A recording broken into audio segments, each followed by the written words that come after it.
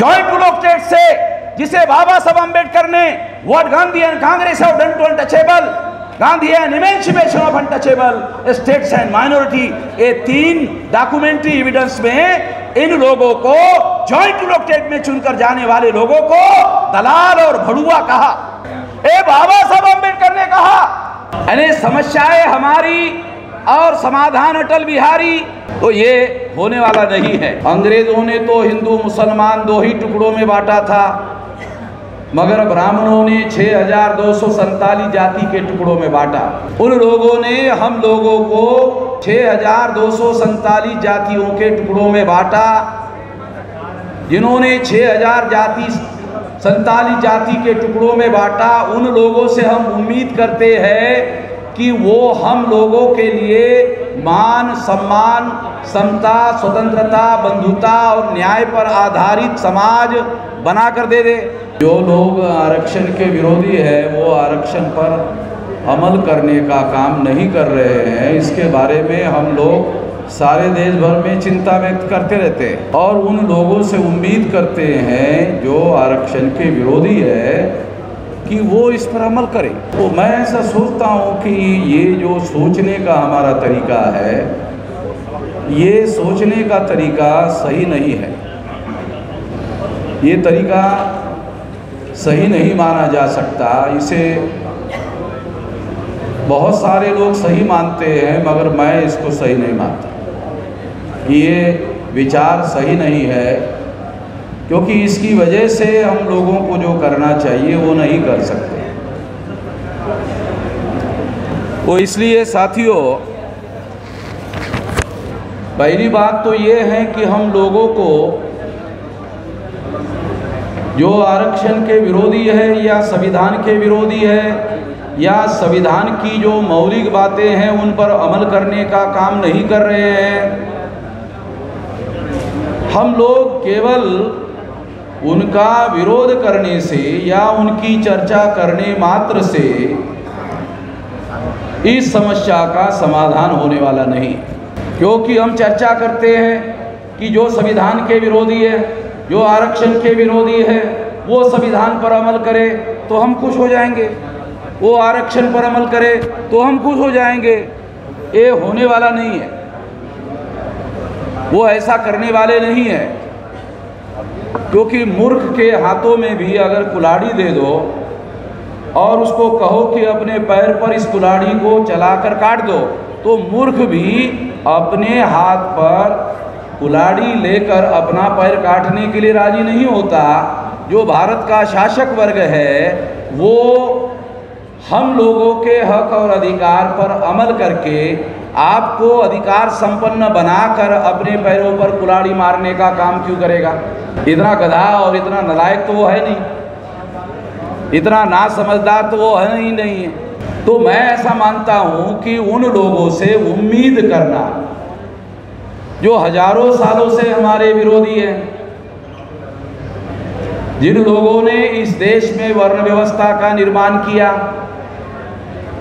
जिन लोगों ने इस देश में जाति व्यवस्था का निर्माण करके छः हज़ार दो सौ सैतालीस जाति के टुकड़ों में हमें बांटा, अंग्रेज़ों ने तो हिंदू, मुसलमान दो ही टुकड़ों में बांटा था, मगर ब्राह्मणों ने छः हज़ार दो सौ सैतालीस जाति के टुकड़ों में बांटा। सत्रह सौ तीन शेड्यूल कास्ट की जातियाँ है 801 आदिवासियों के टुकड़े हैं तीन हज़ार सात सौ तैतालीस ओ बी सी के टुकड़े हैं। तीनों को मिलाकर छः हज़ार दो सौ सैतालीस टुकड़े हैं। इतने टुकड़े उन लोगों ने किए और उन्होंने ही हमें कहा कि अंग्रेज़ों ने बांटो और राज करो, इस सिद्धांत पर काम किया। बात सही है, अंग्रेज़ों ने बांटो और राज करो के सिद्धांत पर काम किया। मगर अंग्रेज़ों ने, हिंदू, मुसलमान दो टुकड़ों में बांटा। ब्राह्मणों ने छः हज़ार दो सौ जाति के टुकड़ों में बांटा और ये हज़ारों सालों से बांटा। सम्राट बृहदत्त मौर्य की हत्या, पुष्यमित्र शुंग ने ईसा पूर्व 185 को करने के बाद से लेकर अब तक। तब से चल रहा है ये मामला। आज से नहीं, दो ढाई हज़ार साल से चल रहा है। और दो ढाई हज़ार साल से चलने के बाद उन लोगों ने हम लोगों को छः हज़ार दो सौ सैतालीस जातियों के टुकड़ों में बांटा। जिन्होंने छः हज़ार जाति, सैतालीस जाति के टुकड़ों में बांटा। उन लोगों से हम उम्मीद करते हैं कि वो हम लोगों के लिए मान, सम्मान, समता, स्वतंत्रता, बंधुता और न्याय पर आधारित समाज बना कर दे दे। हम उनसे उम्मीद करते हैं। मुझे लगता है ये सोचने का एक तरीका है। सोच ही लोगों को जगाती है। सोच ही लोगों को जोड़ती है, सोच ही लोगों को शक्ति में रूपांतरित करती है, मगर जो सोच हम व्यक्त कर रहे हैं, उससे शक्ति का निर्माण होने वाला नहीं। मैं ऐसा मानता हूँ, आप लोगों को गलत लगता होगा। आप लोगों को विचार करने की आज़ादी है, मैं ये नहीं कह रहा हूँ कि आप लोगों को अपना विचार करने की आज़ादी नहीं है। मगर मुझे भी उसी तरह से अपना विचार व्यक्त करने की आज़ादी है। इसीलिए कह रहा हूँ मैं ऐसा मानता हूँ कि इससे आप लोगों का स्वाभिमानी, स्वावलंबी, आत्मनिर्भर आंदोलन निर्माण होने वाला नहीं है। जिस तरह से आप विचार व्यक्त करते हैं, उस तरीके से आप लोगों का स्वाभिमानी, स्वावलंबी, आत्मनिर्भर आंदोलन निर्माण होने वाला नहीं है। अगर आप लोगों का स्वाभिमानी, स्वावलंबी, आत्मनिर्भर आंदोलन निर्माण होने वाला नहीं है तो फिर आप लोगों को मांगते रहने के अलावा कोई विकल्प नहीं। आप लोगों को निरंतर मांगते रहने का काम करते रहना पड़ेगा। मुझे लगता है कि काशीराम जी ने उस विचार को, उस विचार का संगठित रूप से त्याग किया। किस विचार का? संगठित रूप से त्याग किया कि दूसरे लोग हमारा भला करने का काम करें। दूसरे लोग हमारा कल्याण करने का काम करें। दूसरे लोग हमारा उद्धार करने का काम करें। मुझे लगता है ये विचार हम लोगों का उद्धार करने का सही वास्तविक रास्ता नहीं। इससे निश्चित रूप से हम लोगों का रास्ता सही नहीं हो सकता। हम लोगों को ऐसा लगता है कि हमें पिछलग्गू बनने से भी हमारा उद्धार हो सकता है। ऐसा भी हमारे लोगों का सोच है। कि हम जब पीछे लग्गू बने रहेंगे, दूसरों के पीछे पीछे चलते रहेंगे तो हमारा उद्धार हो जाएगा और वो लोग हमारा उद्धार कर लेंगे। यानी समस्याएँ हमारी और समाधान अटल बिहारी, समस्याएँ हमारी और समाधान अटल बिहारी कर लेगा। तो ये होने वाला नहीं है। और इस तरह की विचारधारा मुझे ऐसा लगता है सही नहीं है। इसलिए आपको अपना स्वावलंबी, स्वाभिमानी, आत्मनिर्भर आंदोलन निर्माण करने के अलावा कोई विकल्प नहीं है, कोई अल्टरनेटिव नहीं है। ये निर्माण करना होगा। ये आपका रास्ता भविष्य में हो सकता है। इस रास्ते पर आप लोगों को अमल करना होगा। तो मुसलमानों को ये एक बड़ा मिसअंडरस्टैंडिंग है कि बीजेपी के लोगों को अनुसूचित जाति और जनजाति के लोग बड़ी संख्या में वोट दे रहे हैं। आपके पास बीजेपी को हमारे लोगों ने वोट देकर चुनाव जीत कर लाया। कोई है, फैक्ट है, कोई आंकड़े हैं? मैं आपको बताता हूँ। 303 सीटें लोकसभा में बीजेपी की चुनकर आई। और उस 303 में 76 सीटें शेड्यूल कास्ट और शेड्यूल ट्राइब की रिज़र्व सीटें चुनकर आई। 26 जनवरी 1950 को जब संविधान लागू हुआ था उसके बाद कांग्रेस के भी शेड्यूल कास्ट और शेड्यूल ट्राइब की सीटें चुनकर आती थी। मैं आपको हिस्टोरिकल फैक्ट के आधार पर बता रहा हूँ। छब्बीस जनवरी 1950 को जब संविधान लागू हुआ 1952 को प्रथम लोकसभा का चुनाव हुआ, उस समय भी सबसे ज़्यादा सीटें कांग्रेस की शेड्यूल कास्ट, शेड्यूल ट्राइब की चुनकर आई। गांधी जी की वजह से शेड्यूल कास्ट शेड्यूल ट्राइब को लोगों को जॉइंट इलेक्ट्रेट थोपा गया। और इस जॉइंट इलेक्ट्रेट की वजह से शेड्यूल कास्ट की संख्या पंद्रह प्रतिशत और साढ़े सात प्रतिशत आदिवासियों की संख्या। मान लो कि शेड्यूल कास्ट की रिज़र्व सीट है। वो 100 परसेंट पंद्रह परसेंट वोट अगर किसी सीट को दे देते हैं तो भी वो रिज़र्व सीट वाला आदमी चुनकर नहीं आ सकता। कितने लोगों को ये पता है? ये जो जॉइंट इलेक्टोरेट है, ये कॉन्स्टिट्यूशनल सिस्टम है, ये आर्टिकल 332 ये आर्टिकल 330 ये जो विधानसभा और लोकसभा के लिए जॉइंट इलेक्टोरेट है, इस जॉइंट इलेक्टोरेट ने कांग्रेस की ज़्यादा सीटें चुनवा कर लाई, बाबा साहब अंबेडकर के जीवित होते हुए चुनवा कर लाई, बाबा साहब अंबेडकर के हयात होते हुए जितवा कर लाई। मैं एग्ज़ाम्पल देकर आपको बता रहा हूँ सबूतों के साथ। कि अगर शेड्यूल कास्ट का पंद्रह प्रतिशत आदमी हंड्रेड परसेंट किसी सीट पर वोट डाल दे तो क्या पंद्रह परसेंट वोटों से कोई शेड्यूल कास्ट का कैंडिडेट चुनाव जीत सकता है? अगर बीजेपी के 303 सीटों में से 76 सीटें शेड्यूल कास्ट और शेड्यूल टाइप की चुनकर आई है तो मुसलमान ऐसा मानते हैं कि शेड्यूल कास्ट और शेड्यूल टाइप के लोग बीजेपी को वोट दे रहे हैं। गलत बात है, झूठ बात है। यही बात थी बाबा साहब अंबेडकर ने। राउंड टेबल कॉन्फ्रेंस में शेड्यूल कास्ट के लोगों को शेड्यूल ट्राइब के लोगों को सेपरेट इलेक्ट्रेट देने की मांग की थी, वो अंग्रेज़ों ने इस बात को स्वीकार किया गांधी जी ने ज़बरदस्ती करके, उपवास करके हमारे लोगों पर, बाबा साहब अंबेडकर पर हमारे लोगों पर ज्वाइंट इलेक्टेड थोपा। ये थोपने की वजह से कांग्रेस की ज़्यादा सीटें एस सी की चुनकर आती है और एस सी के साथ साथ जब बीजेपी सरकार में आती है तो बीजेपी की भी आती है।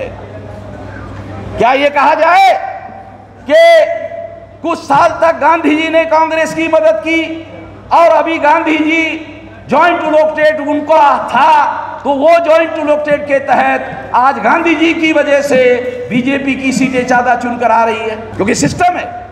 330 और 332 पढ़ लेना आर्टिकल संविधान का।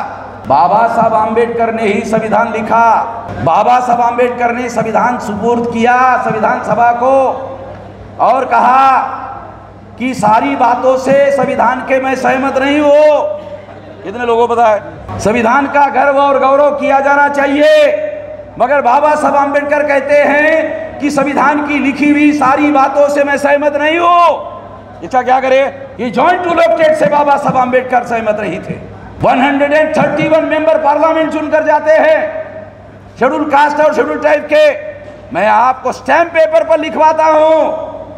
आज़ाद भारत में सेंट्रल की कोई भी सरकार, चाहे कांग्रेस की हो, चाहे बीजेपी की हो, कोई भी सरकार, आज तक शेड्यूल कास्ट और शेड्यूल टाइप के सपोर्ट के बगैर दिल्ली में नहीं बनी। लिखवा लेना और जाँच कर लेना जो कह रहा हूँ।